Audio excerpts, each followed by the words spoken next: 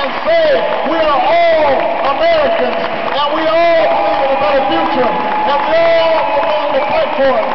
If we say that, then I promise you we will not just win We will not just win this nomination. We will not just win the general election.